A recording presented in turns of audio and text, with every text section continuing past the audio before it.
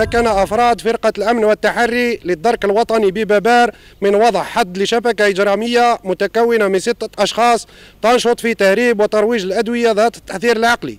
وهذا بعد ورود معلومات حول عملية تهريب كمية من المؤثرات العقلية عبر إقليم الاختصاص ليتم وضع تشكيل متحرك وآخر ثابت عبر كل المسالك والمنافذ المحتمل المرور عليها. من خلالها تم رصد سيارة المشتبه فيها وهي قادمة من إحدى الولايات المجاورة ليتم توقيفها.